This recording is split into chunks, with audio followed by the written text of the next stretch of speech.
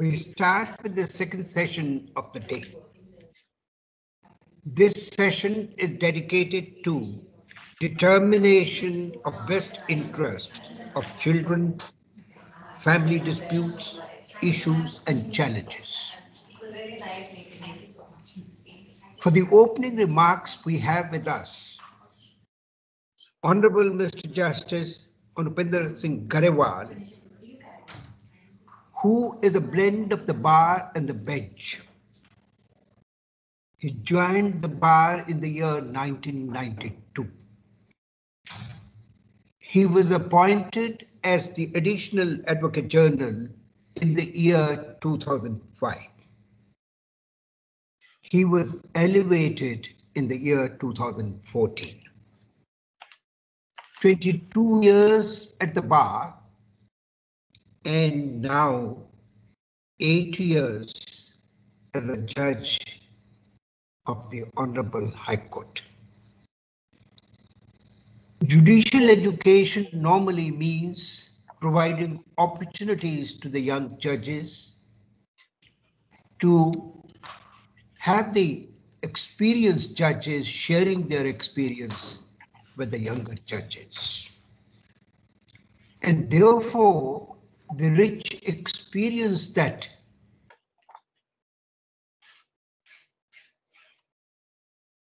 the measuring rod for carrying out this particular session. May I request Justice Grewal to make the opening remarks for this particular session. Over to Justice Grewal.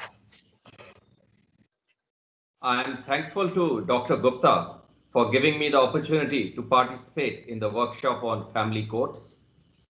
The topic of discussion in this session is of immense significance. The law on the subject is evolving, but considerable progress has been made in recent times. And you have the domain experts who will be delineating further on the subject. I would just narrate my experience. The first brush I had with the concept of shared parenting was when I was a student in Delhi in the 1980s. One of my classmates was staying with his mother in Delhi. The parents had separated. The father had even remarried. But the mother and the father, they were in regular touch, speaking to each other on the phone, sharing their concerns about the well-being and upbringing of the children. One of the children had to undergo a minor medical procedure. The father came all the way down to Delhi and both the parents were there when they took the child to the hospital. And in the evening, they would have dinner together. The father was staying elsewhere, but they would have meal together. The entire family is there. There, that's how I got to know this concept of shared parenting. And both the children, they developed into responsible citizens with well-rounded personality. But when I started practicing in Chandigarh, I didn't have a very good experience when I saw some bitter custody battles over the children. I will just narrate recently, there was a petition for habeas corpus which had come up before me at the instance of the mother. She was present and she was, of course, she was disturbed, understandably so. And she would not even allow her lawyer to speak. She would say, my child has been taken away, straight give me the custody. So I tried to give her a patient hearing, try to reason with her and told her, let's try mediation. She was opposed to it. Even the lawyer for the other side also came. They were also hesitant, but then with some persuasion, I was able to send them for mediation. And after mediation, then they said some progress has been made, but lots. I said, if some progress has been made, we go to give it another shot. Then I kept it for a day to day hearing, and I was, it gave me immense satisfaction when the matter was resolved. The custody, of course, with, with the mother and with visitation rights and periodic and whatever mutually agreed upon. I mean, that gave me a lot of satisfaction. So what I intend to say is that the family courts should uh, deal the matter in a with a lot of patience and sensitivity. It's not a, like an ordinary legal dispute to be decided after hearing arguments and close. It has to be patiently, and we need to, I think, strengthen our mechanism. We are already doing it for counseling and referring such disputes for mediation. Because even in pandemic, I believe uh, the parent, in some cases, of course, the, who had the custody of the child, has tried to deny the visiting rights to the other parent. So these disputes also need to be resolved. And now this concept, now the uh, concept of best interest of the child has to be adjudicated while keeping in view the interest of the child, which is of paramount importance, rather than the interests of the parents. Not normally what happens is the child uh, parents are going to uh, have the custody or visiting rights as per their convenience of course, their convenience has to be addressed, but there are other issues. And the Supreme Court also, I think both the experts are there. They'll be referring to the judgments in detail. There is uh, the Supreme Court in the case of Vasudha Sethi in 2022 uh, has held that a child's welfare and not the individual or personal legal right of the parents are of paramount importance in a custody battle. In fact, the welfare of the child must get precedence over the parents' rights. Then there are other judgments also. This uh, Vivek Singh versus Romani Singh, the Supreme Court highlighted the concept of parental alienation syndrome, which refers to the unjustified disdain of a child towards his or her parents, which very often happens. They are using the child as a pawn, and sometimes uh, one parent is trying to uh, tell the child about, I mean, uh, uh, that in a way, in a, uh, the image of the other parent is shown in a negative light. So not realizing that in the process, the child is suffering. So these issues, now the family courts are well equipped. Now they can even devise their own procedure to some extent to resolve these disputes. I think other uh, aspects are there for our experts to delineate. Uh, Mr. Anil Malhotra, of course, is a domain expert and very well, widely acclaimed internationally. And uh, Mrs. Madhu Khanna Lalli has got experience, judicial experience in deciding such cases. And of course, I'll won't take much time. I hope I have not overshot my mark. So thank you very much. Thank you so much, Justice Grewal you have focused the issue as such. Ultimately, in deciding, adjudicating all these issues, what is in the best interest of the child is of paramount importance. And I'm sure the two presentations this morning that we are going to have, one from Mr. Anil Malhotra and the other from Madhu Lalli, are going to focus on the different aspects relating to the best interest of children. In this particular context, I thank Justice Grewal. I know you are busy and therefore be so very kind of you to be with us this morning and we look forward to your association in our future programs as well. Thank you so much. I would now request, in fact, I had introduced both Anil and Madhu yesterday, and since they are sharing the session today again, I would now request Mr. Anil Malhotra to proceed with his presentation in this particular context. Over to Anil. Thank you, sir. Uh, Honorable Justice Grewal, Lord Denning, Dr. Balram Gupta, and my learned esteemed colleague, Judge Madhu Khanna Lalli, and Kartas of the judiciary, the legal guardians of children. who is a child? Is a child a person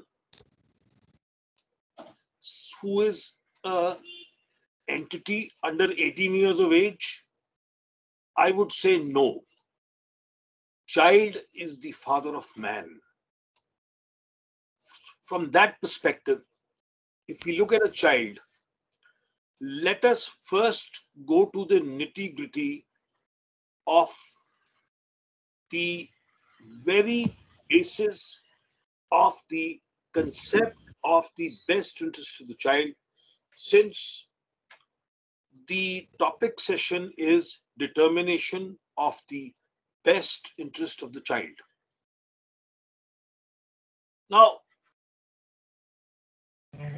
India signed the United Nations Convention on the Rights of the Child in 1992, wherein a child was considered to be a person with a right to life, right to a nationality, right to a home, right to a family, and so on and so forth. India crystallized all these rights piecemeal way in different legislations but the real legislation came when India amended the Unite when India amended the Juvenile Justice Care and Protection of Children Act. First it was of 2008, then it was of 2010, then ultimately came the Act of 2015. Now, a lot of us do not know that the only legislation which defines the best interest of the child is Section 2, subsection 9 of the Juvenile Justice Care and Protection of Children Act 2015. I would like to read this definition because it took me almost 10 years to convince the Delhi, the Delhi High Court to start with, and then ultimately the Supreme Court, that this is a definition you have to look into because none of the personal law legislations or the Guardian and Wards Act defines what is the best interest of the child. So the simple meaning of the definition of the best interest of the child, which has been picked up in a wholesome way from the entire collection of rights emanating from the UNCRC, are given in this subsection. Now, once India signed the UNCRC, it was obligated to incorporate in domestic laws whatever was contained in the convention to give force or give teeth to the meaning of the convention. So, best interest of the child means the basis for any decision taken regarding the child to ensure fulfillment of his basic rights and needs, identity, social well being, and physical, emotional, and intellectual development. So this is the wholesome definition of the best interest of the child. Now, when I engaged in this argument, the objection of the bench and of the opposing counsels were that the JJ Act is an act which applies to children in conflict with law. But then the JJ Act also applies to children in need of care and protection. Now, one of the categories of the children in need of care and protection are children uh, or a child who resides with a person, whether a guardian of the child or not, and such person has injured, exploited, abused, or neglected the child, or has violated the rights or any other law for the timing in force meant for the protection of the child. So, when a parent decides to take singular custody of the child, the rights of the child are being violated. So, therefore, the child is a child in need of care and protection. And therefore comes the definition of the Juvenile Justice Act, the best interest of the child. Now, when I urged this expression to be taken note of in habeas corpus petitions in the Delhi High Court, first of all, I was able to convince the division bench headed by Justice Vipin Sanghi. Then I was able to convince the bench of Justice Ispani. And ultimately, this concept was accepted when I urged submissions before Justice Khanwilkar in the Supreme Court. And now, of course, this wholesome definition is often taken care of and is noticed. So, my respectful and humble submission to honorable judges of the family courts is please feel free to hold the scales of determination of the best interest of the child with keeping in the weights of the definition given in the JJ Act to determine what is the best interest of the child. The rights of the parties, Ashish Ranjan, Lahari Sakhamuri, Ruchi Majoo, Supreme Court says are immaterial. The scales must rest on the best interest of the child and what are your weights, what are your balancing gadgets is the definition given in section 2, subsection 9. So with this brief opening,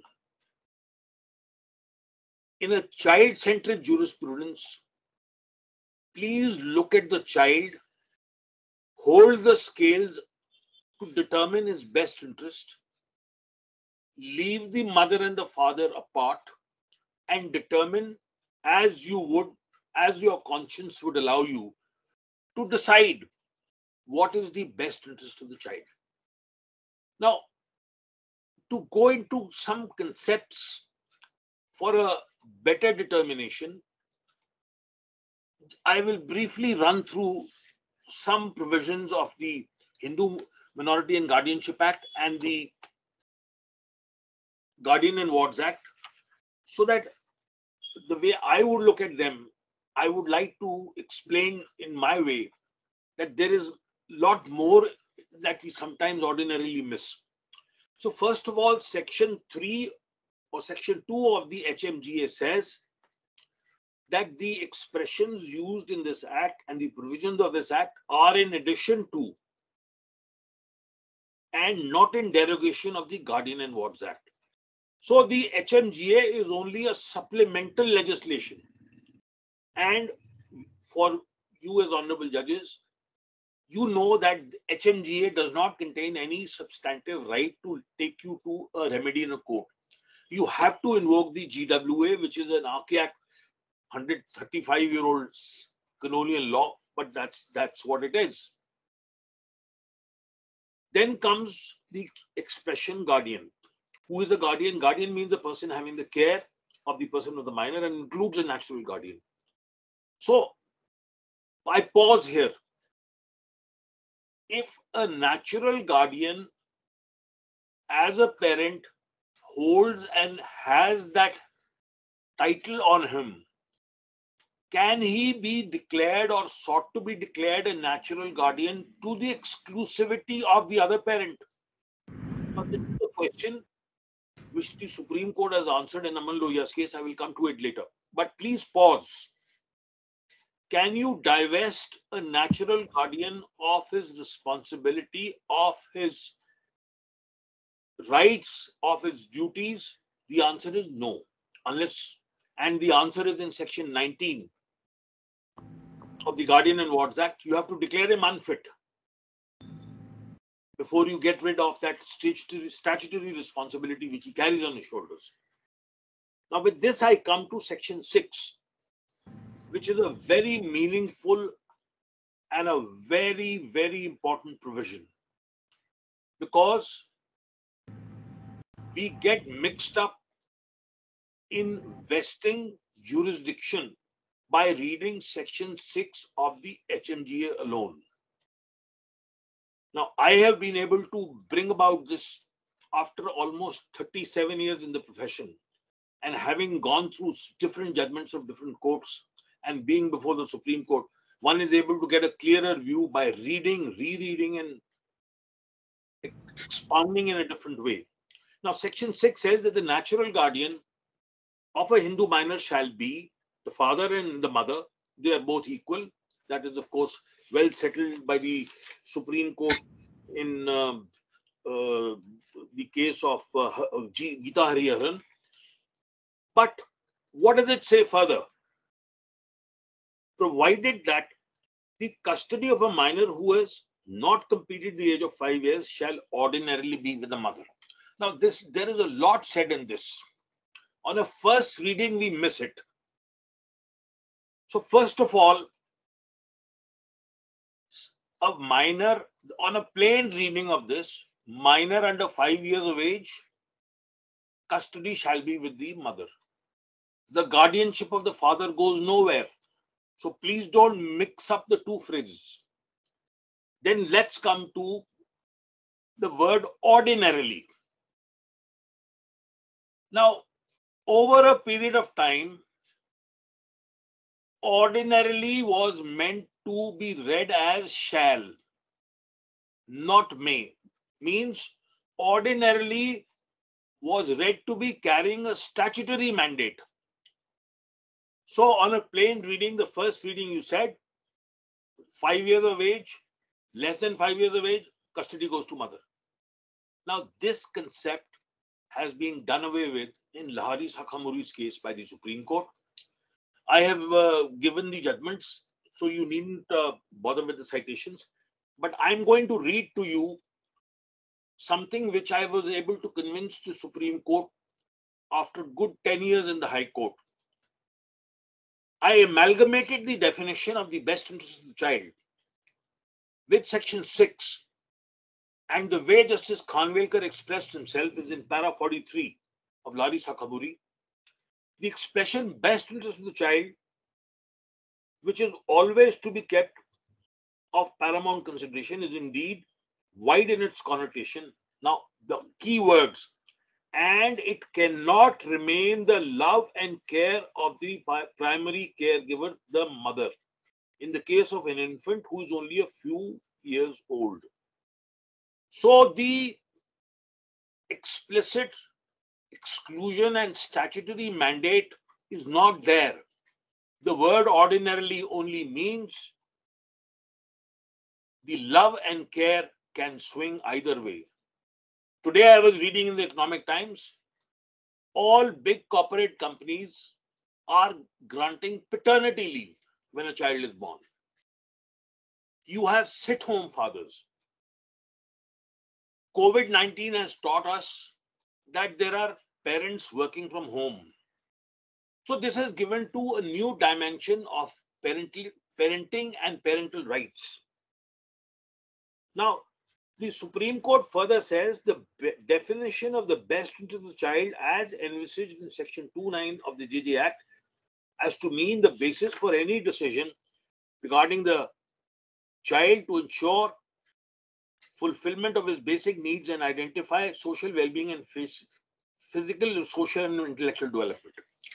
So the Supreme Court says that the best interest of the child cannot remain the care of the mother, the primary caregiver, if the child is less than five years of age. So please start thinking differently. Start holding the scale with the best interest of the child. And please don't go by a first reading of the provision because ordinarily has swung by the Supreme Court to mean something different. Now, before I move to the other issue which comes from this, I must also share with you the judgment, the words of the Supreme Court in Vasudha Sethi versus Kiran Bhaskar, decided on 12th of January 2022, where again the Supreme Court is saying when a court decides that it is in the best interest of the minor to remain in the custody of one parent, the other parent is bound to be affected. In the case of a minor boy or girl, the natural guardian is the father, but ordinarily the custody of the minor who is not completed the age of age shall be the mother the, the Supreme Court further says on a conjoint reading of Section 1, subsection 1 of Section 13, that is the welfare of the child, and Section 6A of the HMGA, if it is found that the welfare of a minor whose age is more than five years requires that the custody should be with the mother, the court is bound to do so. But here comes the other side. In the same way, if interest of the minor, which is the paramount consideration, requires that the custody of the minor should not be with the mother, the court will be justified in disturbing the custody of the mother even if the minor is less than five years of age. So here is the writing. There is no vested right with the mother if the child is less than five years of age. There is no vested right of the father if the child is more than five years of age. Please try to adapt to these new principles which the Supreme Court has evolved in these two judgments. Kindly don't go by a first reading of the words.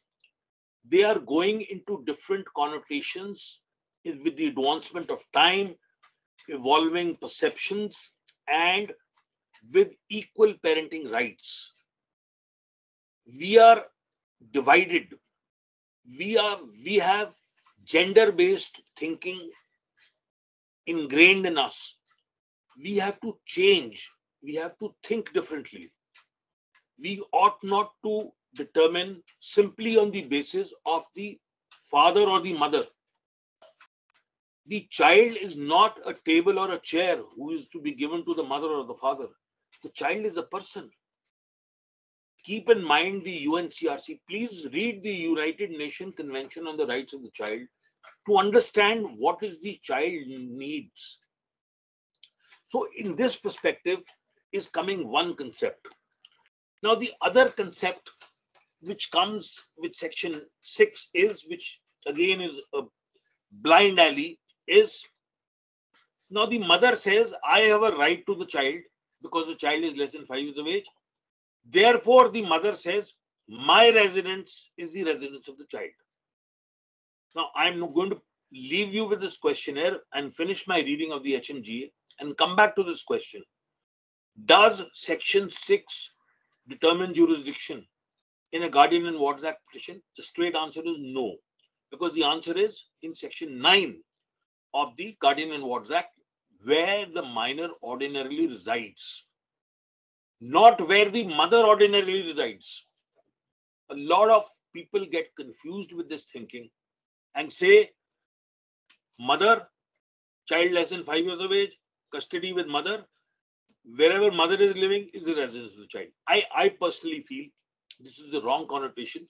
There are different views of different high courts on this.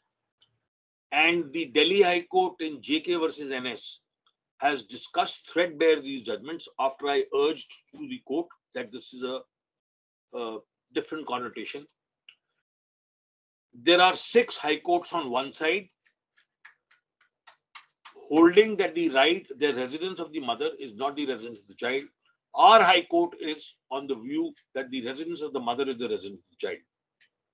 The Supreme Court affirming the judgment in JK versus NS has in a way given a mandate that, that that is the position, but there is no clear explicit view of the Supreme Court on this. So this is again a gray area for the timing. Now, I want to quickly run through the remaining provisions of the uh, HMGA. Now, Section 8 talks of the powers of a guardian. So, whosoever has the custody, the guardian does not lose his powers. That's one. Then come to Section 13, welfare of the child to be the paramount consideration. Now, this is something very important. Now, section 13 itself carves out the exception to section 6. So if you stop reading after section 6 and you don't read 13, you miss the bus. Now, section 13 says, in the appointment or declaration of any person, the welfare of the minor shall be paramount. Then here is the bar. No person shall be entitled to the guardianship by virtue of the provisions of this act or any other law amongst Hindus if the court is of the opinion that his or her guardianship will not be for the welfare of the minor. So you fall back on the best interest of the child, the welfare of the child. So no parent has a sublime right. No parent has a vested or an absolute right. It is a subjective right. the scale is the welfare of the child. Nobody can claim exclusive priority simply because the child is X years of age or Y years of age. You have no right by virtue of being a parent. There is no superior or inferior parent. Both parents are equal. But what is the welfare of the child? How do you balance that? That is the crunch. Now, with this brief introduction of this act and the way I read it, now let us look at some, some provisions of the Guardian and Wards Act. Now, first of all, the Guardian and Wards Act in section 7 talks of power of the court to declare a guardian. So it says where the court is satisfied that it is for the welfare of the minor, an order should be made, it, it can appoint a guardian or declare a guardian. Then persons entitled to be appointed a guardian is in section 8 and any person desiring of being declared a guardian can do so. But then the question comes, if you're a natural guardian, do you need a declaration as a guardian? Now, this is something which, which, which seeks to be answered in a perspective that you cannot displace the guardian of his rights. You can only confer custody. The natural guardian's rights can never be taken away. And I come straight to the exception, which is in section 19. Section 19 says that the guardian is not to be appointed in certain cases.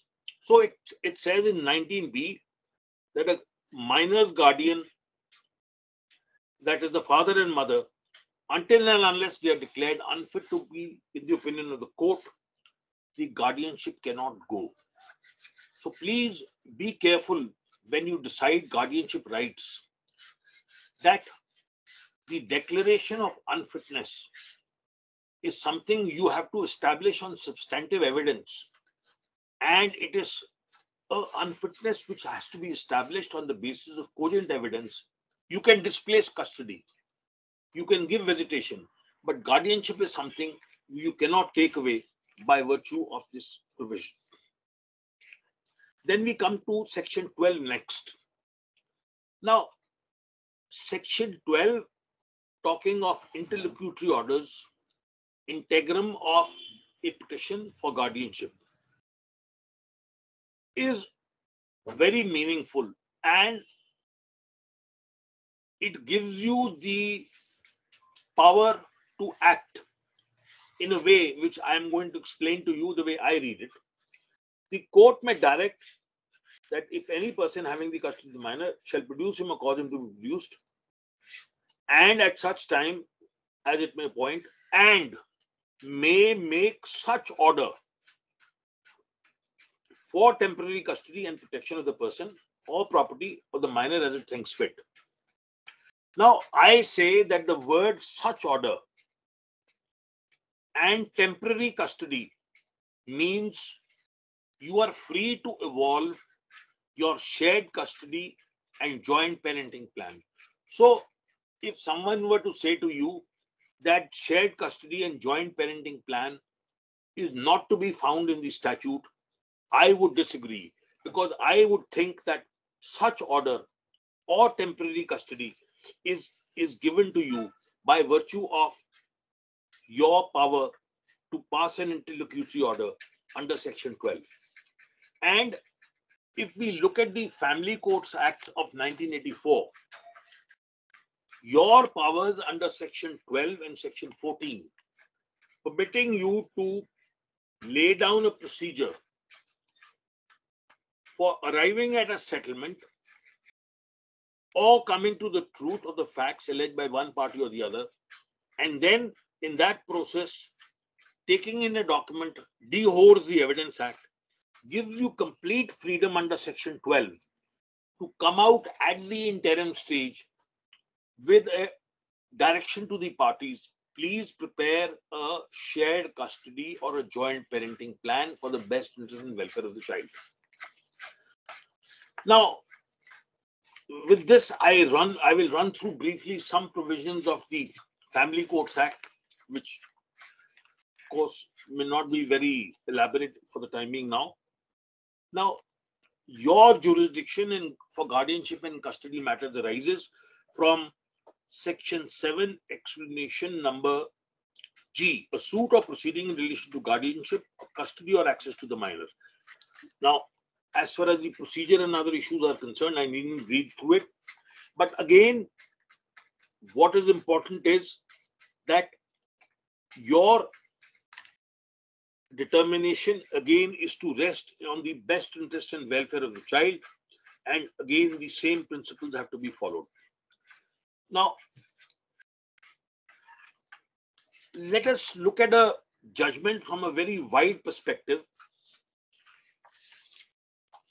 as to what jurisdictional issues will mean now i just wish to elaborate on the concept of where the difference of opinion arises. Now, the Supreme Court in Tejaswini Gauds, that is 2019, 7 SCC 42 said that the Guardian and Wards Act, the jurisdiction of the court, is determined where the minor ordinarily resides within the area of the court exercising such jurisdiction. So section 6 of the Hindu Minority and Guardianship Act does not determine jurisdiction. Now, the second judgment on the point is Ruchi Majoo. Ruchi Majoo is the Bible and jurisdiction 2011 6 SCC 479.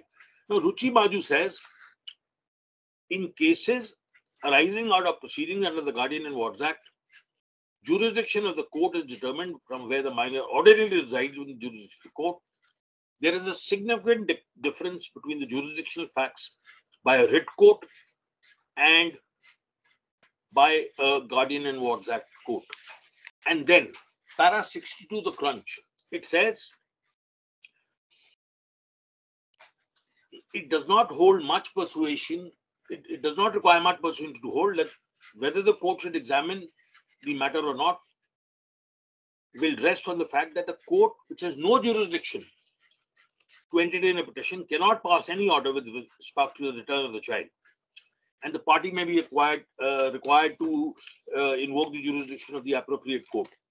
Now, in this case, the Supreme Court says that a court that has no jurisdiction to entertain a petition for custody cannot pass any order or issue any direction for the return of the child the party aggrieved must seek remedy before the court legally, the remedy open to it legally, but no redress can be made for the court which has no jurisdiction. Now, if we look into this provision carefully, minor ordinarily resides has to be read in for jurisdiction. So the residence of the mother has not to be read in into the conferment of jurisdiction under section 9 of the Guardian and Wards Act. Section 6 is not, HMGA is not the determining provision. Section 9 of the GWA is the determining provision. Now, what does minor ordinarily reside mean? It means n number of judgments say where the child continuously and habitually resides, not residing at a place where the child is present on the date the petition is filed. It is not a place where a child is removed by force or brought for the filing of the petition. So this is again your judgment to determine where is the child residing, where is the child going to school, which is his home, which is his habitual place of living, and so on and so forth. If you find that the child is not residing in your jurisdiction habitually, ordinarily, and permanently, the petition has to be declined. You can do so by a preliminary issue you can do it in an Order 7 Rule 11 application or the best way you think fit. But Ruchi Majoo says you have no jurisdiction and Tejaswini Gaud is very clear that the determination of this has to be done on the annual of section 9 of the GWA and not on section 6 of the HGA. So this is one very big hurdle which uh, needs to be clarified and which needs to be uh, explained in the perspective of the jurisdictional issue. Now, having said that, the bigger, larger picture of what should be your method and procedure of handling a Guardian and Wards Act petition is best laid out in the latest judgment of the Supreme Court in Aman Lohia's case. This is 2021 SCC Online SC224. I have circulated this judgment. Now, this was a case where I had argued the matter before the Supreme Court, and it had a very interesting set of facts. The uh, petitioner before the Supreme Court was also the uh, applicant or the petitioner before the family court in a guardianship petition. He was unsuccessful in getting the visitation, access, and custody of his child before the family court. He took the unlawful route of taking the child out of the country uh, by uh, Bagdogra, Nepal, and then going to Dubai and converting the Muslim religion. The matter went to the High Court in a habeas corpus petition. He did not appear. Criminal contempt proceedings were initiated against him. He was held to be guilty of criminal contempt. Ultimately, a team of CBI was sent to bring him back. The matter was urged before the Supreme Court in all those matters. The criminal issues are still pending. But then the uh, family court's decision, meanwhile, was that it permitted the mother to transpose in place of the father as a petitioner. And on one date of hearing, the uh, family court not only transposed the mother as the petitioner, but also gave her exclusive guardianship rights. This order was questioned by the father in an appeal before the High Court. The Supreme Court transferred the appeal to its board and it expounded on the jurisdictional aspects of how a family court ought to determine a guardianship petition. So the Supreme Court did lay down, but I want to dwell on para 25 of the Supreme Court judgment dated March 17, 2021. Now, which is very important from you for your point of perspective. It says, it says, as a matter of fact, in the Indian context, the provisions of the 1984 Act nor the 1890 Act envisage a direction in favor of the parent to be declared as the sole exclusive and absolute guardian and custodian of the minor. Such declaration has been intentionally obtained by the respondent from the family court to serve ulterior purpose. Then the appellant has taken us through the points to buttress the argument that the respondent is not a fit person. According to the appellant, the father being the natural guardian under Hindu law is entitled to over a declaration of guardianship unless it is found in a given case that he is unfit in the context of parenting of the minor child or would be against the interest and welfare of the minor child, as the case may be. According to the appellant, the father is the natural guardian, irrespective of the mother's custody. The guardianship of the father cannot be divested to buttress his contention reliance placed on so and so. It is contended that unless and until the father is declared unfit, the relief of declaring him to be guardian cannot be declined. The fact that the appellant had taken the child away from the jurisdiction of the family court does not mean that he was the kidnapper of the child and he continues to be the natural guardian. So the point which I'm trying to bring home is that if a declaration has to be given to you by you declaring a parent as the natural guardian ex exclusively, unless and until you declare the other parent as an unfit parent, this declaration cannot be given. You can share the custody, you can give exclusive custody, but parenting rights cannot be divested or given away in this process. Now, the second important point which this judgment brings home is in paras 36 to 40 onwards, where the Supreme Court says there is a mandatory procedure for you to follow. A family court is not a writ court. So, whatever is the mandatory procedure of pleadings, coining issues, then recording evidence, then coming to a conclusion, giving opportunity, you have to fulfill. Now, the argument of the other side was that CPC and Evidence Act can be given a go by. But the Supreme Court's rebuttal is you cannot obviate, you cannot dispense away with statutory procedure.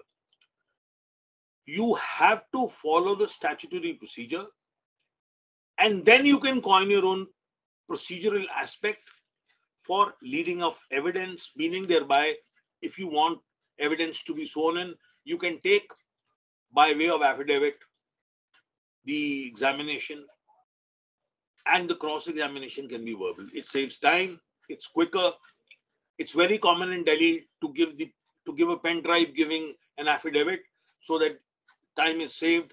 The judge can read through the evidence while the cross is being conducted by the opposite side. Obviously, the pen drive containing the affidavit is already served to the opposite party in advance. But I have done trials in six months where the court is able to finish it off if helpful expedited procedures are adopted. But this is something you have to devise within your own court to come to these issues. Now, the next thing which the Supreme Court says is abandonment should not be inferred. Transposing should not be entertained ex parte. Opportunity should be given. Now, these are important points which you can go through at length. Substantial non-compliance of procedure cannot be done away. Fitness of the appellant to be decided on merits.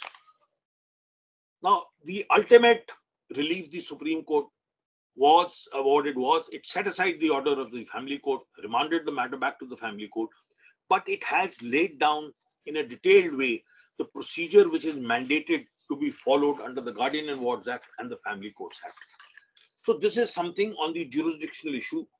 Now I'll I know I'm short of time, so I will very quickly cover three different aspects which I think need focus. Now the first is your approach in a guardianship petition should be a child-centric approach. Do not be misled by parties converting it into a divorce petition or an attack on each other of marital rights. When people talk of marital rights, you can ask the counsels to refrain from referring to the pleadings. In Kiran Bhaskar's case, which I just read, I was an amicus before the Supreme Court. There were 2000 pages of allegations by the parties against each other when we were looking at the child. So the judge said i'm not going to look into anything and he asked me for a balanced view. So i gave a report and we looked at the issues concerning the child and we came out with something of a joint parenting plan and that's how we were able to come out of it you have a power to appoint an amicus you it's in the act you have the uh, power to take assistance. Feel free, appoint in Bombay, there is a child independent lawyer.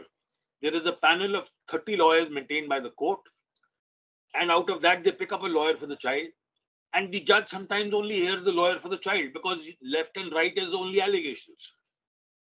So the child welfare, the child independent lawyer seeks the report of a counselor and comes out with an answer and then the matter goes forward.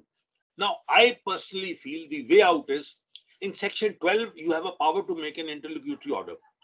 Now, the word such order means you can tell the party, I am not going to proceed with the matter till you come up with a shared parenting plan or a joint parenting plan. If somebody wants custody, tell him you will have to bargain for custody on Saturday and Sunday. If one parent wants only visitation, give him visitation, balance it, and come out with a joint parenting plan in the beginning so that the litigation can proceed smoothly thereafter. So, a child centric approach is something which is very necessary and which has been laid down in Ashish Ranjan's case and in, in, in, in Ruchi Majoo's case, where the judge says where the court says, Supreme Court says, it is very necessary for this issue to come forth in that way. Now, the concept of a joint or a shared parenting plan is found in Tushar Ubale, Supreme Court, Bombay High Court, Karnataka High Court judgment in Sitaraman's case, Kiran Bhaskar R High Court, in JK versus NS in the Delhi High Court.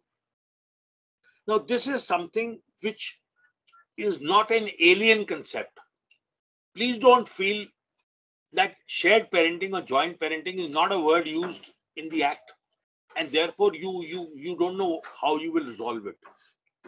You have to read into the word section 12 in section 12 i'm going to just very quickly emphasize on those words again so that they stick to the mind so section 12 of the uh, sorry, section um, 12 of the Guardian and Wards Act says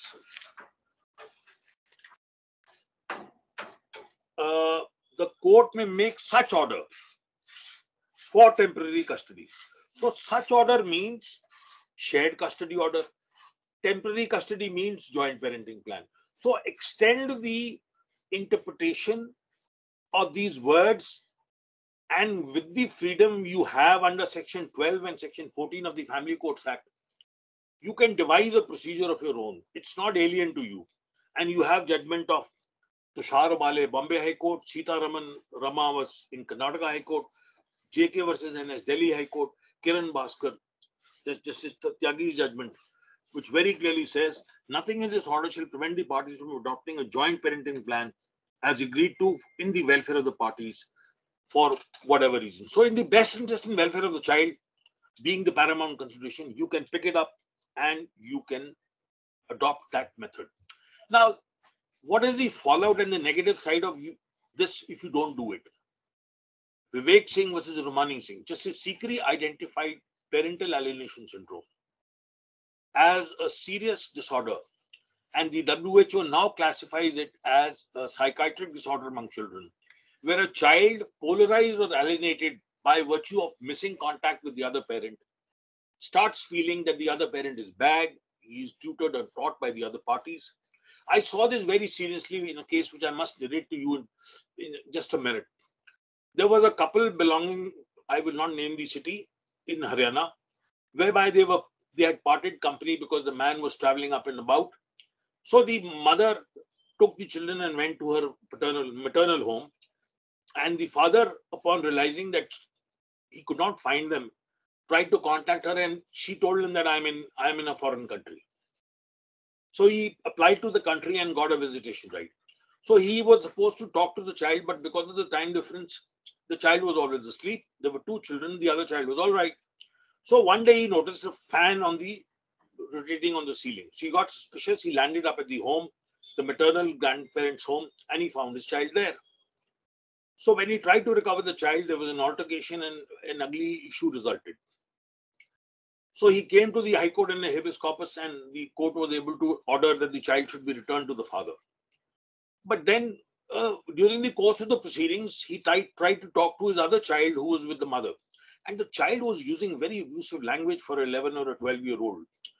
And that was a clear import that the child was being tutored. So parents will tend to use children as their pawns and in, in and, and influence them in such a way that they get this they get polarized or they get affected to be on one side. Now this is a very negative aspect and it needs to be handled very gently. So looking at this entire circumference, I now pass the baton on to the honorable judge who perhaps is better trained than me because she's on the other side, I'm on this side. So with this brief narration of mine, I, I wrap up and I pass the baton back on to Dr. Gupta.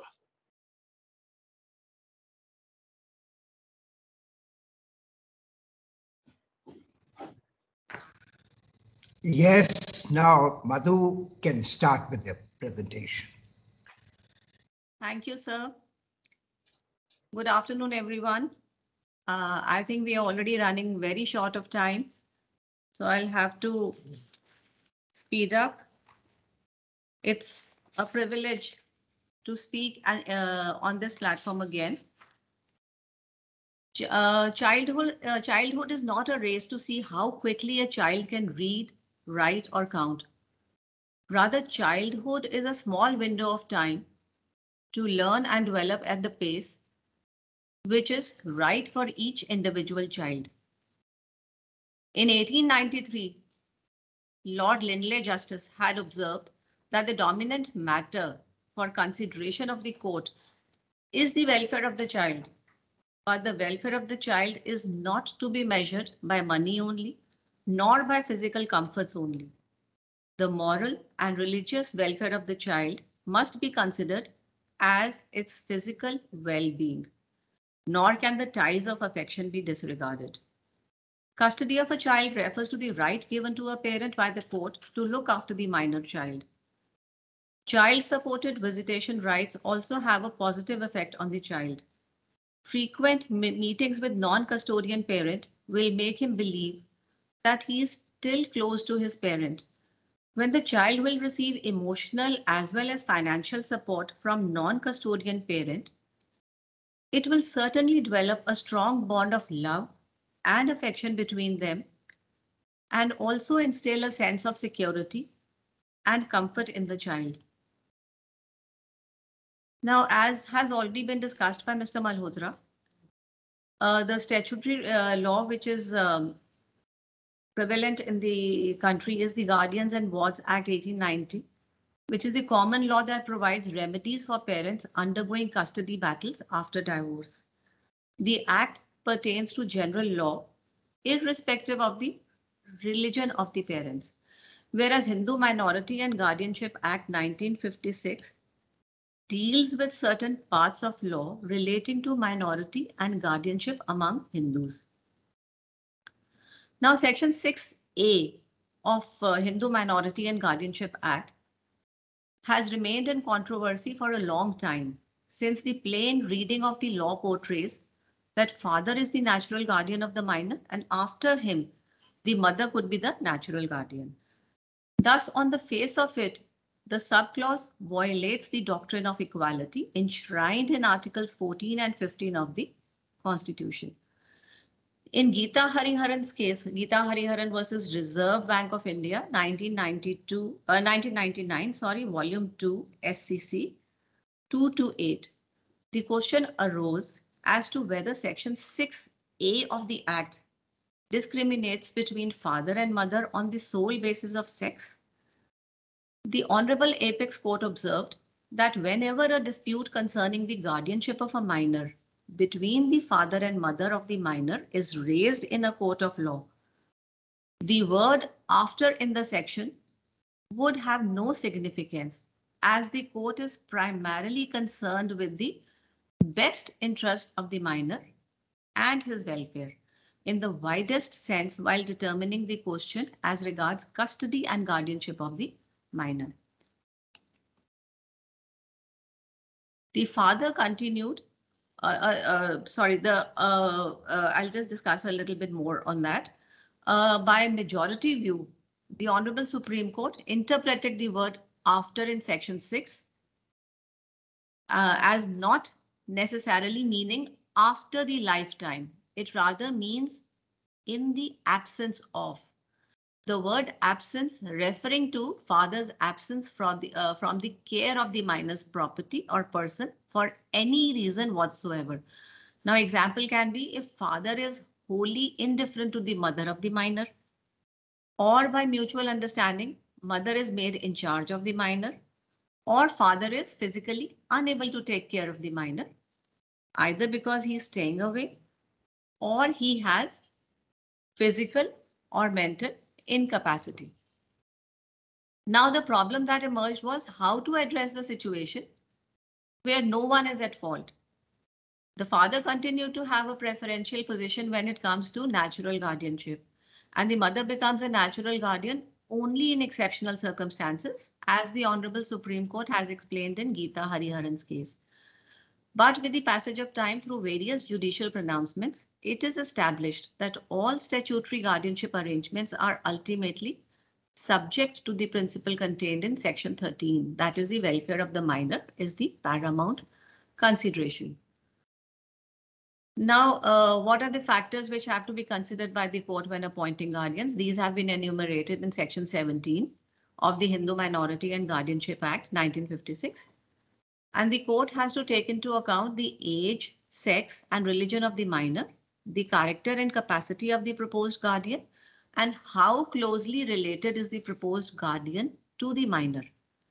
The wishes, if any, of the deceased parents, and any existing or previous relation of the proposed guardian with the person or property of the guardian uh, of the minor, sorry.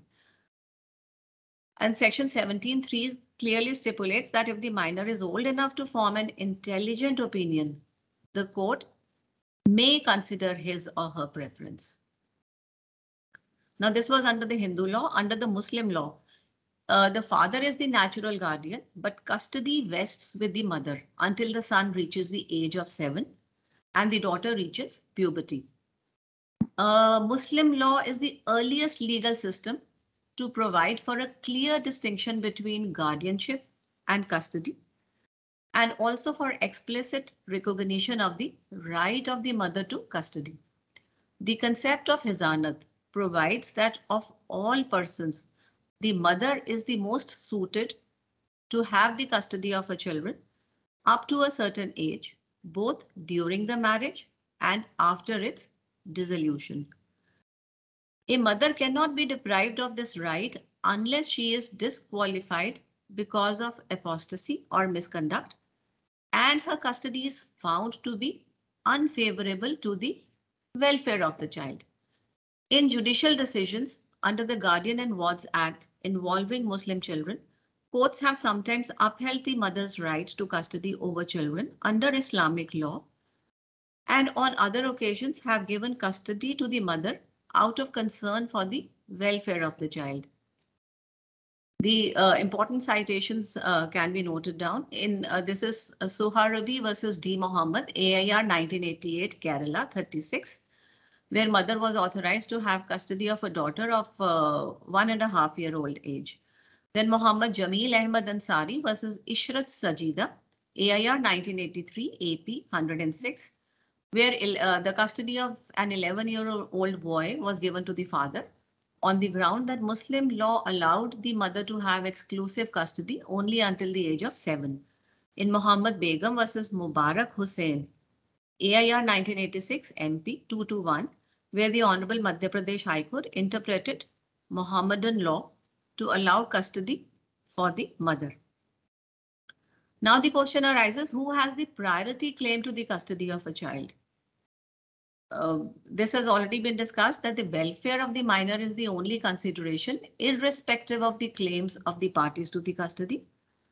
The court is not required to take into consideration whether from any other point of view the claim of the father in respect of such custody or upbringing is superior to that of the mother or the claim of the mother is superior to that of the father. In relation to the custody or upbringing of a minor, a mother has the same rights and authority as the law allows to a father, and the rights and authority of mother and father are equal and are exercisable by either without the other. Each case has to be decided on its own facts and other decided cases can hardly serve as binding precedents in so far as the factual aspects of the case are concerned. Better financial resources of either of the parents or their love for the child may be one of the relevant considerations, but cannot be the sole determining factor for the custody of the child. Uh, in fact, no statute on the subject can ignore, eschew or obliterate the vit vital factor of the welfare of the minor. This was discussed in a case titled Mausami Moitra Ganguly versus Jayanti Ganguly, AIR 2008 Supreme Court 2262.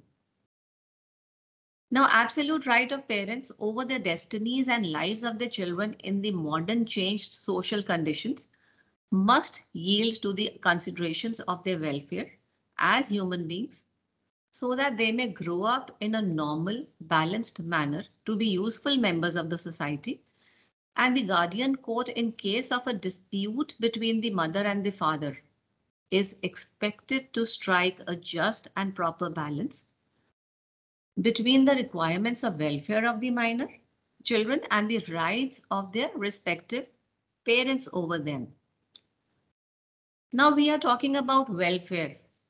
Uh, Mr. Malhotra has of course explained the meaning of welfare, but I'll take the liberty to discuss this again. In case titled Nil Ratan Kundu versus Abhijit Kundu, 2008, Volume 9, SCC 413. The meaning of uh, the term welfare was explained and it was held that a court, while dealing with custody cases, is neither bind, bound by statutes nor by strict rules of evidence or procedure, nor by precedents In selecting proper guardian of a minor, the paramount consideration should be the welfare and well-being of the child. In selecting a guardian, the court is exercising parens patriae jurisdiction and is expected, rather bound to give weight to a child's ordinary comfort, contentment, health, education, intellectual development, and favorable surroundings. But over and above physical comforts, moral and ethical values cannot be ignored. They are equally or even more important, essential, and indispensable considerations. If the minor is old enough to form an intelligent preference or judgment, the court must consider such preference as well. Though the final decision should rest with the court as to what is conducive to the welfare of the minor. Then in Sarita Sharma versus uh, Sushil Sharma, 2000, Volume 2, RCR Civil 367. The Honorable Apex Court held that Section 6 of the Hindu Minority and Guardianship Act constitutes father as a natural guardian of a minor but that provision cannot supersede the paramount consideration as to what is conducive to the welfare of the minor. Uh, the crucial factors which have to be kept in mind by the courts while deciding the welfare of the children has been discussed in uh, Lahari's Sakhamuri versus Sobhan Kodali, 2019, Volume 7, SCC 311. So what is essential is maturity and judgment, mental stability, ability to provide access to schools, moral character, ability to provide continuing involvement in the community, financial sufficiency, factors involving relationship with the child as opposed to characteristics of the parent as an individual. Then in Tejaswini Gaud versus Shekhar Jagdish Prasad Tiwari, 2019, Volume 7, SCC 42. Uh, it was uh, held that the welfare of the child shall include various factors like ethical upbringing, economic well-being of the guardian, child's ordinary comfort, contentment, health, education, etc. Now there are circumstances uh, where uh, neither the parent nor the uh, uh, neither of the parent is uh, actually uh, suitable to be appointed as a guardian. In certain circumstances or in such circumstances, courts have also sent the child to boarding schools. So I'll just give you the citations like Shioli Hati versus Somnath Das 2019, volume 7, SCC 490. The child was removed from the influence of home life and directed to continue to remain in the boarding school. It was held that in the facts and circumstances of the case, this was considered the best way to serve the welfare and interest of the child as the atmosphere in her home was unhealthy, which had caused a very great strain on her nerves and had certainly affected her healthy growth. Similarly, in Amrik Rai versus Satpal, AIR 1983, Punjab and Haryana 304, uh, the court directed that the child should be sent to a boarding school as the acrimonious atmosphere in the house would have a bad effect on the proper growth of the child. Then it is very important to remember that siblings should not be separated, especially uh, when they are very close to each other in case title Shaleen Kabra versus Shivani Kabra, 2012, Volume 2, RCR Civil 974. The Honorable Apex Court has given this observation. So here the court had given custody of elder son to the husband and that of the younger son to the wife. So this order was modified and the custody of both the children was given to the father uh, with visiting right to the mother at the expense of the father. Now, what happens if the father is in live-in relationship? In uh, uh, case titled Naresh Kumar versus Anita Rani, 2019, Volume 2, RCR Civil 366. It was held that uh, the court cannot approve this kind of social setup because it would give a wrong signal to the society at large and would create an adverse impact on the tender mind of the child. And there are chances that the child would learn that live-in relationship is a way of life. Now, the principles in relation to the custody of a minor child are well settled. In determining the question as to who should be given custody of a minor child, the paramount consideration is the welfare of the child and not rights of the parents under a statute for the time being in force. But there are uh, circumstances where the custody is not given to the parents, but is given to other relatives. In Jayaprakash Khadaria versus Sham Sundar Agarwal, 2000, Volume 6, SCC 598, there was a dispute between paternal and maternal grandparents, and here the custody was given to paternal grandfather. Then in, Anjali Kapoor versus Rajiv Baijal, AIR 2009, Supreme Court 2821, the custody of the child was handed over to the grandmother rather than the father. In Shamrao Maruti Korvate versus Deepak Kisanrao Tekram, 2010, Volume 10, SCC 31, the custody of the minor child was given to the maternal grandfather and not to the father. In Neelam versus Mansingh 2015, Volume 2, RCR Civil 291, custody of minor child residing with grandparents where father is dead and the mother is facing criminal prosecution under section 306 IPC for abetting his suicide. Uh, in such circumstances, custody of the child uh, was ordered to remain with grandparents and the mother was even denied the visitation rights. Then in Kirti Kumar Maheshankar Joshi versus Pradeep Kumar Karuna Shankar Joshi, 1992, volume 3 SCC 573, the Honorable Supreme Court uh, handed over the custody of minor children to maternal uncle, refusing the preferential right of the custody, uh, uh, uh, preferential right of the father to the custody of his minor children. Then in Nil Ratan Kundu uh, versus Abhijit Kundu, which we just discussed here and before, a case under section 498A IPC had been registered against father of the child. Here, the custody of the five, five-year-old child was given to the grandparents and the custody petition of the father was dismissed. So again, a question arises whether it is permissible to hand over the custody of the child to an institution, ignoring parents' claim. So ordinarily, no. This was answered in Beata Agnes Zeka Sobiraj versus State of Himachal Pradesh, 2016, volume 4, RCR Civil, page number 4. Uh, but uh, there's another case, Shaurya Gautam versus State of UP, 2020, SCC Online, Allahabad, 1372, where it was observed that if a natural guardian is facing criminal charges relating to death of the spouse, then in that event, uh, the court allowed custody of the children to remain with the ashram and the visitation rights to the father were also declined. Then in case of uh, in case of custody of illegitimate child, the mother has an indefeasible legal right to natural guardianship vis-a-vis -vis an illegitimate child.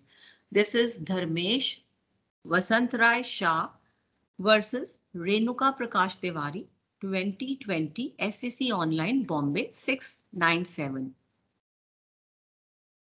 Now preference, uh, preferences and inclinations of child are important in determining issue of parental custody. In case titled Samriti Madan uh, Kansagra versus Perry Kansagra 2020 SCC Online SC 919, the Honorable Apex Court has uh, uh, observed that uh, the court can consider the preference of the minor if she uh, or he is old enough to form an intelligent preference. It would be in the best interest of the child to transfer custody to his father as if the preferences were not given due regard, it could have an adverse psychological impact on the child. And this is very important that the psychological aspect of the child's emotions should Arora and others. 2017, volume 3, SCC 726. Uh, it was held that court should desist from passing order for custody contrary to the will of the girl child, which may give rise to tormenting and disturbing experience in her mind. In this case, the custody of the girl child aged 15 years was given to the father by holding that it was for her welfare. Now in Purvi Mukesh Gada versus Mukesh Popatlal Gada and others, AIR 9, uh, 2017 Supreme Court 5407, it was held that regard should be given to the child's opinion if she can understand his or her welfare. The, the Honorable Apex Court, besides other factors, also took into consideration the wishes of the minors and accordingly awarded custody to the mother. It was not uh, in Ashanka versus Prakash 2020 SCC Online Bombay 3497. Uh, the honorable bench interacted with the child aged 10 years in the chambers and she stated that she was comfortable at her father's place but her uh, attachment with the mother was also explicit and she showed willingness to meet her mother. So the honorable bench stated that it is not basing its conclusion only by taking into consideration the better financial position of father, but that is one of the factors amongst others. Visiting rights were granted to the mother in view of the child's inclination to meet her mother frequently, and it was held that a father would bear the tra travel and stay expenses. So in uh, K. Prasad versus Ranjana 1999 volume 9 SCC 544, uh, the child stated that uh, she wanted to stay with the father.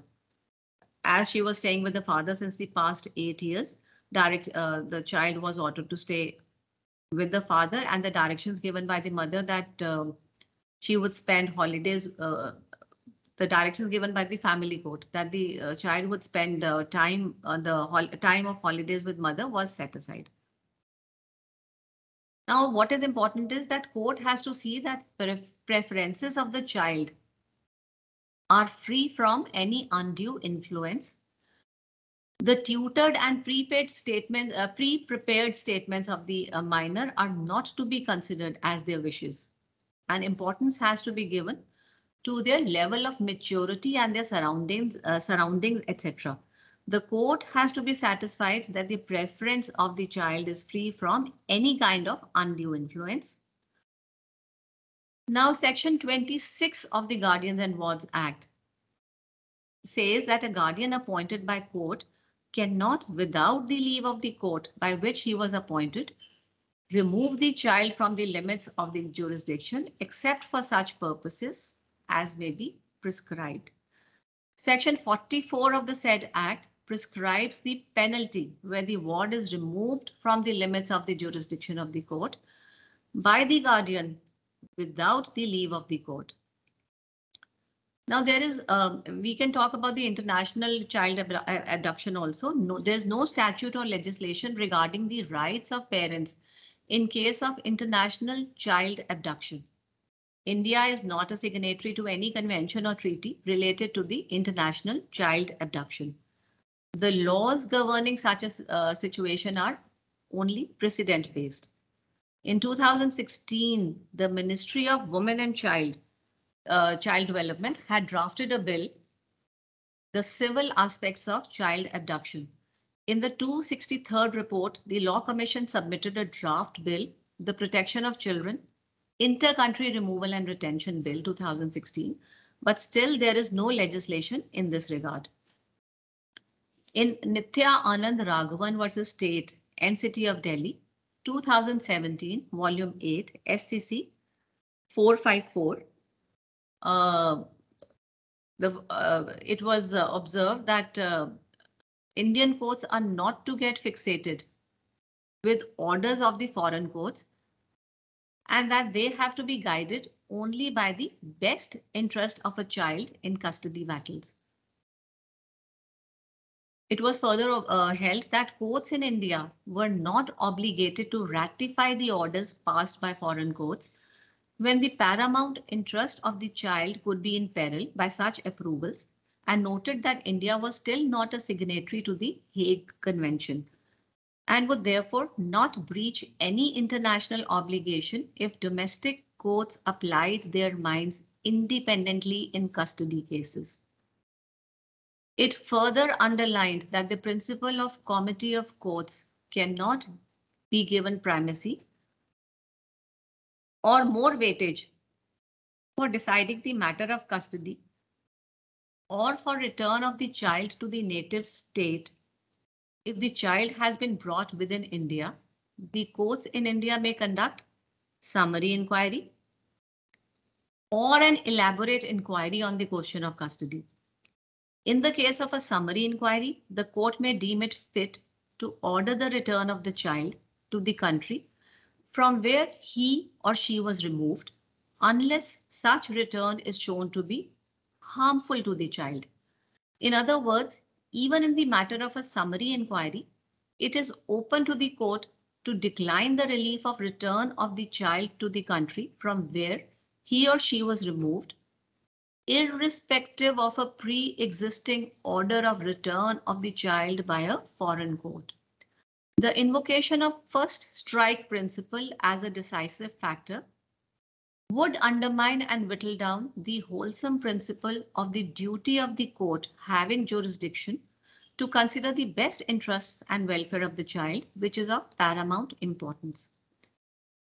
With regard to non-convention countries, the law is that the court in the country to which the child is removed while considering the question, must bear in mind the welfare of the child as of paramount importance and consider the order of the foreign country, a foreign court as only a factor to be taken into consideration. The summary jurisdiction to return the child be exercised in cases where the child had been removed from its native land and moved to another country where um, maybe his native language is not spoken or the child gets divorced from the social customs and contacts to which he has been accustomed, or if its education in his native land is interrupted and the child is being subjected to foreign system of education. For these are all acts which could psychologically disturb the child. Now again, the summary jurisdiction be exercised only if the court to which the child has been removed is moved promptly and quickly. The overriding consideration must be interests and welfare of the child. Even in Ruchi Majoo versus Sanjeev Majoo, AIR 2011, SC uh, 1952, uh, it was observed that principle of comity of courts ensures that foreign judgments and orders are unconditionally conclusive of the matters in controversy. But in the matter of custody of child, uh, child interest and welfare of the minor being paramount, a competent court in this country is entitled and indeed duty bound to examine the matter independently, taking the foreign judgment, if any, only as an input for its final adjudication. In um, uh, Elizabeth Dinshaw versus Arvind M. Dinshaw and another 1987 SCR volume 1 175 the Honorable Apex Court has reiterated that a parent doing wrong by removing children out of the country uh, it uh, should not gain any advantage by his or her wrongdoing and it is the uh, duty of the court to see that no such benefit is given to the wrong parent. Now, jurisdiction point has already been discussed by Mr. Anil Malhotra. Uh, that is section 9. Person, in case of a person, uh, the uh, it shall be made to the district court having jurisdiction in the place where the minor ordinarily resides and property where the minor ordinarily resides or where the property is situated. Now, uh, the word minor ordinarily res uh, resides has also been discussed by Mr. Malhotra, but um, I would like to uh, refer to a judgment on this point. This is Jagdish Chandra Gupta versus Dr. Kumari Vimla Gupta, AIR 2003, Allahabad 317. The ordinary resident uh, uh, ordinarily resides and residing at the time of the application are not synonym, synonyms and stipulate different situations which are not interchanged. The place where the minor ordinarily resides indicates a place where the minor is expected to reside, but for special circumstances. It excludes places to which the minor may be removed at or about the time of the filing of the application for the enforcement of the guardianship and custody of the minor.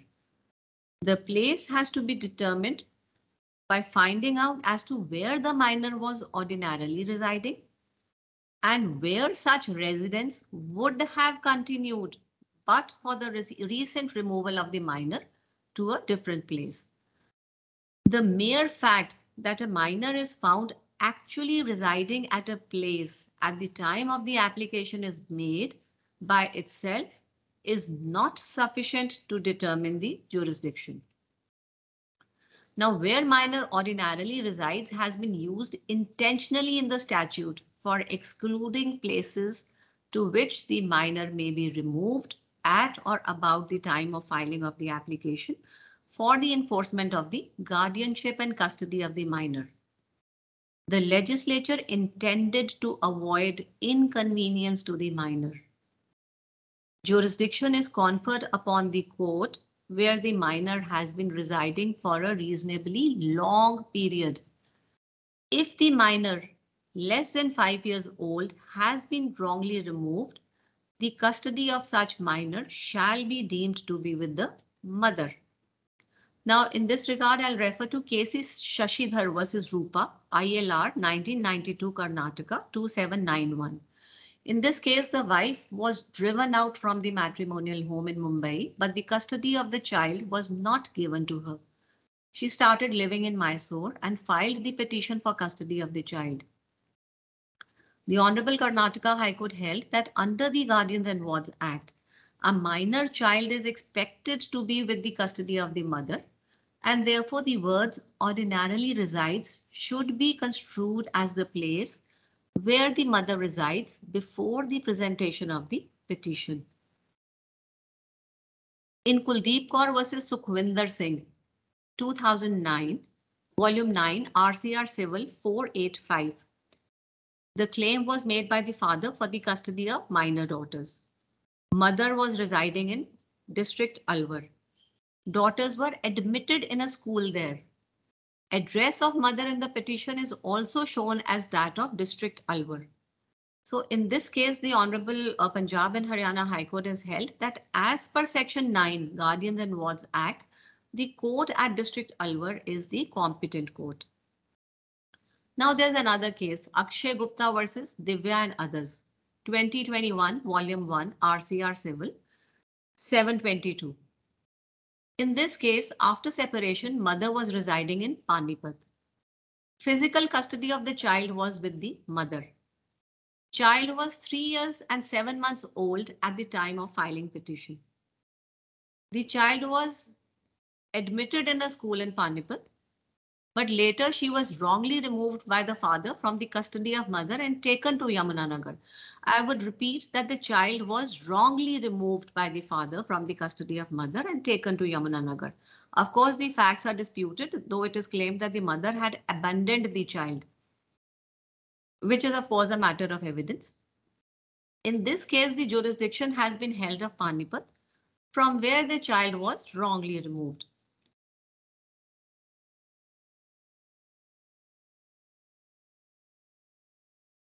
In Regan Jayakumar versus Shami Sahul, ILR 2015, Volume 3, Kerala 41. Here the parents are living separately at different places and the minor was not residing with them. The primary question is which is the place where the minor ordinarily resides? The minor child was studying in a school at Pune. So it was held that uh, the district court Pune where the minor ordinarily resides will get the jurisdiction. Now, for ascertaining that jurisdiction, the family court can verify the school certificate, extract of admission register and other relevant documents to decide the disputed question of fact for identifying the place where the minor ordinarily resides. The school record should be, of course, of a sufficient long period. Now a question was raised whether uh, the uh, this jurisdiction can be the question of jurisdiction can be treated as a preliminary issue. Now, unless the jurisdictional facts are admitted, it can never be a pure question of law. When the facts are disputed, then the question about jurisdiction cannot be treated as a preliminary issue as it is a mixed question of law and facts and requires inquiry into the factual aspects of the controversy. Now we'll talk about revocation variation of orders. Section 26 of the Hindu Marriage Act. Uh, courts can pass interim orders in any proceedings with respect to custody, maintenance and education of minor and make such provisions in the decree as it may deem just and proper with respect to the custody, maintenance and education of minor children. The section also authorizes courts to revoke, suspend or vary such interim orders passed previously. In Vikram Veer Vohra versus Shalini Bhalla, AIR 2010 SC 1675, uh, it was held that um, the uh, custody orders are always considered interlocutory orders and by the nature of such proceedings, custody orders cannot be made rigid and final. They are capable of being altered and molded, keeping in mind the needs of the child. Similarly, in Rosy Jacob versus Jacob A. Chakramakkal, 1973 1 SCC 840, uh, all orders relating to custody of minors were considered to be temporary orders and with passage of time, the court is entitled to modify the order in the interest of the minor child. Uh, the court went to the extent of saying that um, even if orders are based on consent, those orders can also be varied if the welfare of the child so demands. Then section 38 of Special Marriage Act. This is same as section 26 HMA and uh, the petition is maintainable under this act if both the parents belong to a different religion or have undertaken a court marriage. Here also, um, the application uh, can be disposed of uh, within 16 day, 60 days from the date of service of notice. The section also authorizes courts to revoke, suspend or vary such interim orders passed previously. Then what happens?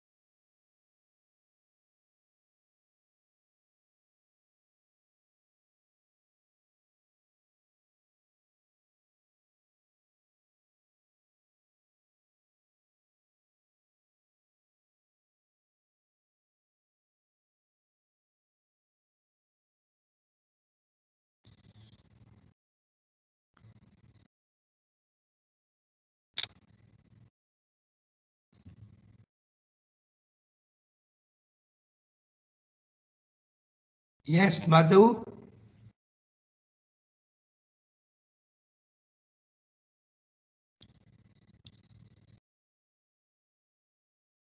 Under section 45.1, if the person in custody of the child disobeys the order passed under section 12 subclause 1, he incurs the liability of payment of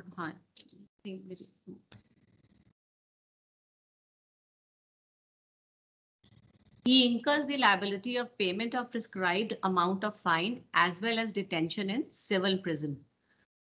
Uh, unlike the scheme of code, uh, CPC, dealing with execution of decrees and orders of civil courts, Section 45.1 does not seem to limit the order of detention to any specific period.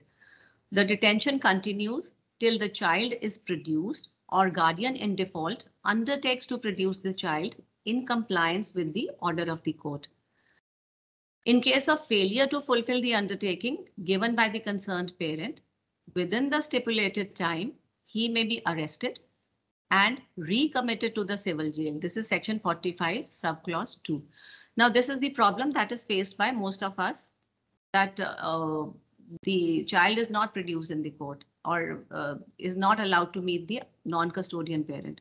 So we can always resort to section 45 of the Guardians and Wards Act. So as we are running short of time, I think I'll just end it. But of course, I'll um, it out that the rules framed by the Honorable High Court under the Guardians and Wards Act 1890 are contained in Punjab and Haryana High Court Rules and Orders, Volume 2, Chapter 2B. So with that, I'll uh, end this talk. Thank you so much. Thank you, Madhu. I'm happy that this particular session, which was so vital, covered by both Mr. Anil Malhotra and Madhu Khanna Lalli. You know so much about determining the best interest of the child, and therefore so much has been shared, and yet so much remains to be shared in this particular context. Thank you so much for taking this particular session in a wholesome manner. Both of you have done and contributed extensively in furtherance of this particular session. Thank you so much. Look forward to have you on some other occasion also. Mr. Malhotra, of course, Madhu is with us and we continue to have our association. Thank you, Mr. Malhotra. So one last question.